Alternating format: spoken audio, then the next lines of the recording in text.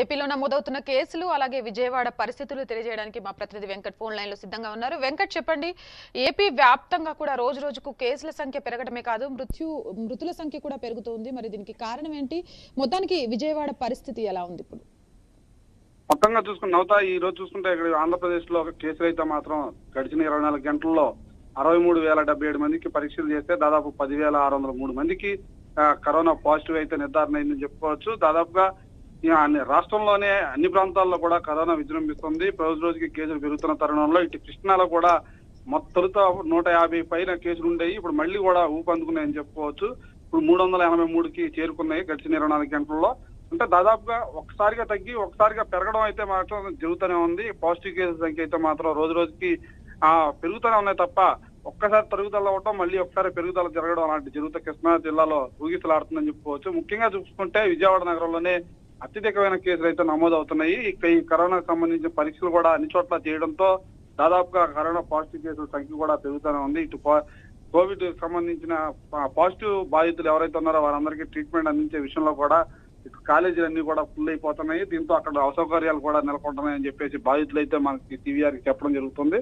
ప్రధానంగా చూసుకున్నట్లయితే ఈ కరోనా పాజిటివ్ కేసుల సంఖ్య పెరుగుతున్న తరుణంలో సౌకర్యాలు కల్పించడంలో ప్రభుత్వం అయితే మాత్రం వైఫల్యం చెందుతుంది. దీంతో చాలా మంది కూడా ప్రైవేట్ ఆసుపత్రికి ఎక్కువ మొక్కు చూపుతున్నారు. తాను అప్పు సొప్పు చేశాను సరే. పథకాలను ఉద్దేశంతో ప్రతి ఒక్కరూ ప్రైవేట్ ఆసుపత్రి వైపే చూస్తున్న పరిస్థితి అయితే కనిపిస్తున్నాయి. ఇటు గవర్నమెంట్ మాత్రం ఆ కనీస సౌకర్యాలు అటు మరుగుదొడ్లు పరిశుభ్రంగా ఉంచడం కానీ ఆహారం టయానికి అందించడం కానీ మందులు అందించడం కానీ అదే విధంగా వారికి ఏంటి అసలు కరోనా పేషెంట్ లోపలికి వచ్చిన తర్వాత వారికి ఏ అవసరం ఉంది ఏంటి అనేది పలకరించే నాదుడే ఉండే పరిస్థితి అయితే కనిపించట్లేదు. దీంతో చాలా మంది ఇబ్బంది ఎదుర్కొంటున్నారు. ముఖ్యంగా క్వారంటైన్ సెంటర్ సంబంధించిన ఉన్న బాధితులైతే అయితే మాత్రం తమకు మందులు కూడా సక్రమంగా అమర్తం లేదని కొంతమంది జిల్లా కలెక్టర్ ఇంతియాజ్ అహ్మద్ కూడా చెప్పడం జరుగుతుంది. ప్రధానంగా చూసుకున్నట్టయితే కరోనా పాజిటివ్ కేసులు పెరుగుతున్న తరుణంలో సౌకర్యాలు కూడా మెరుగుపరచాల్సిన ప్రభుత్వం కూడా ఈ విధంగా వెనకంది వేయటం వల్ల బాధితులు అయితే మాత్రం ఇబ్బందులు పడుతున్నారు నవత వెంకట విజయవాడ వ్యాప్తంగా చూసుకున్నట్లయితే కేసుల సంఖ్య పెరగడంతో పాటు అంటే అక్కడ నిర్వహించే టెస్టుల్లో కూడా కొంత తేడాలు వస్తున్నాయి. ర్యాపిడ్ టెస్ట్లో పాజిటివ్ వస్తుంది. లేదా ర్యాపిడ్ టెస్ట్లో నెగిటివ్ వస్తుంది. మళ్ళీ రెండు రోజుల తర్వాత వేరే టెస్ట్లో పాజిటివ్ వస్తుంది. టెస్ట్ల విషయంలో గందరగోళం జరుగుతుంది అనే ఒక ఆరోపణ కూడా తెర మీదకి వస్తుంది. దీనికి సంబంధించి పూర్తి వివరాలు ఏంటి? వాస్తవాలు ఎంతవరకు ఉన్నాయి? నవత మా మామూలుగా చూసుకున్నట్టయితే ఈ ప్రాంతంలో అంటే ఒక రోజు పరీక్షలు నిర్వహించిన సమయంలో వారికి నెగిటివ్ వచ్చిన తర్వాత మళ్ళీ వారం రోజుల తర్వాత వీళ్ళు చెక్ చేయించుకుంటే వారికి పాజిటివ్ వచ్చిన సందర్భాలు అయితే విజయవాడ నగరంలో ఎక్కువగా ఉన్నాయి. ప్రధానంగా అంటే ఒకే ఒకసారి టెస్ట్ చేయించుకున్న వ్యక్తి పదే పదే అంటే నెలకు ఒకసారి టెస్ట్ చేయించుకున్న సందర్భాలు అయితే కనిపిస్తున్నాయి. ఈ నేపథ్యంలో ముందు నెగిటివ్ వచ్చిన తర్వాత తర్వాత మళ్ళీ వాళ్ళకి పాజిటివ్ వచ్చిన కేసులు అయితే మాత్రం అత్యధికంగా ఉన్నాయని చెప్పుకోవచ్చు. అంటే ఈ నేపథ్యంలో వాళ్ళు నెగిటివ్ వచ్చిన తర్వాత కొన్ని ప్రాంతాల్లో పర్యటించి ఈ కరోనాకు సంబంధించి బాధితులుగా మారుతున్నారని చెప్పుకోవచ్చు. అయితే మీరు చెప్పినట్టు పాజిటివ్ కేసులు అసలు టెస్ట్ చేయకుండానే ఆ నెగిటివ్ పాజిటివ్ అని సందర్భం అయితే మాత్రం ప్రభుత్వం నుంచి ఆ సంక్షిప్త సమాచారాలు అయితే ఎవరైతే బాధితులు పరిశీలించుకున్నారో వాళ్ళకి రావడం కూడా సంఘటనలు జరిగినాయి. అయితే ఆ తర్వాత ఆ కృష్ణా జిల్లా యంత్రాంగం మాత్రం వాటి మీద ప్రత్యేకంగా దృష్టి పెట్టింది. ప్రధానంగా ఇప్పుడు పరీక్షల విషయంలో మాత్రం తన జాగ్రత్తలు తీసుకుంటుంది. అయినా కూడా ప్రజల్లో ఈ పరీక్షలన్నీ సరైనవి కాదు అని ఒక నిర్ధారణకు వచ్చి వాళ్ళు మళ్ళీ ప్రైవేట్ ల్యాబుల దృష్టికి దృష్టికి వెళ్తున్నారు. వాళ్ళు కూడా అక్కడ టెస్ట్ చేయించుకునే పరిస్థితి అయితే కనిపిస్తుంది. అందులో ఇప్పుడు ప్రభుత్వం కూడా రెండు వేల తొమ్మిది వందలు ఉన్న ఏదైతే కోవిడ్కి సంబంధించిన టెస్ట్ ఉందో అది పంతొమ్మిది వందలకి చేరటం వల్ల చాలా మందికి కూడా ఉపయోగకరంగా ఉందని చెప్పి చెప్తున్నారు. దాంతో ల్యాబుల్లో ప్రైవేట్ ల్యాబులకు వెళ్ళి ఆ టెస్టులు కూడా చేయించుకొని వారు కరోనాకు సంబంధించిన నిర్ధారణ పరీక్షలు అయితే చేసుకుంటున్నారు అవత.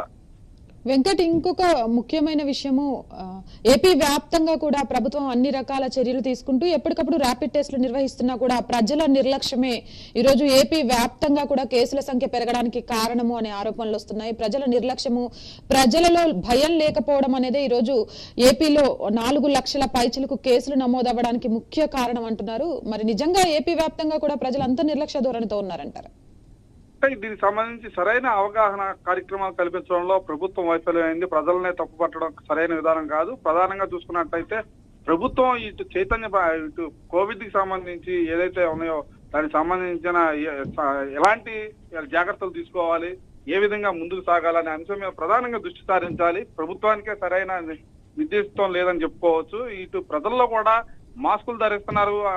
భౌతిక దూరం పాటిస్తున్నా కూడా కరోనా పాజిటివ్ కేసులు అసలు ఇంట్లో నుంచి బయటికి వెళ్ళిన వాళ్ళకి కూడా కరోనా పాజిటివ్ వచ్చిందంటే అటువంటి పరిస్థితులు ఉన్నాయి. ఈ నేపథ్యంలో కేవలం వీళ్ళకి చైతన్య కార్యక్రమాలు చేపట్టాలి. ప్రభుత్వం ఈ విషయంలో మాత్రం ప్రధానంగా ఈ కరోనాకు సంబంధించి ఏదైతే పాజిటివ్ కేసు పెరుగుతున్న తరుణంలో ఎక్కువగా ఉన్న ప్రాంతాల్లో మాత్రం కట్టడిక చర్యలు చేపట్టాలి. ఆ ప్రాంతంలో బారికేడ్లు ఏర్పాటు చేయడం లోపలికి రాకపోకలు నిషేధించడం లాంటి కార్యక్రమాలు చేయాలి.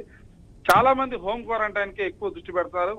నిన్న ఈ విషయం మీద కూడా కొంతమంది డాక్టర్లు కూడా చెప్పడం జరిగింది. హోమ్ క్వారంటైన్లో ఉండటం వల్ల ఆ హోమ్ క్వారంటైన్లో ఉన్న ఎవరైతే బాధితులు ఉన్నారో ఆ- అతను తగ్గిపోయిన తర్వాత కూడా మళ్ళీ అదే కుటుంబంలో చాలా మందికి పాజిటివ్ కేసులు వస్తున్న తరుణాలు అయితే చాలా ఎక్కువగా ఉన్నాయి.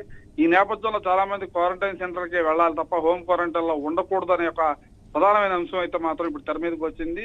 హోమ్ క్వారంటైన్లో చికిత్స అనేది సరైన విధానం కాదని చెప్పి చెప్తున్నా. అయినా కూడా ప్రభుత్వం ఎక్కువగా హోమ్ క్వారంటైన్లో అంటే వీళ్ళకి సౌకర్యాలు సరిగ్గా లేవనే ఉద్దేశంతో హోమ్ క్వారంటైన్లో ఉండమంటున్నారు. కానీ ఇది సరైన విధానం కాదని చెప్పేసి వైద్య నిపుణులు చెప్తున్నారు. అయినా ఈ విషయం మీద ప్రభుత్వం దృష్టి సారించట్లేదు. ఎటువంటి లక్షణాలు లేకపోయినా దానికి సంబంధించిన ఏదైతే వైరస్ ఉందో ఆ వైరస్ అతను హోమ్ క్వారంటైన్లో ఉన్న చోటే ఉంటుంది.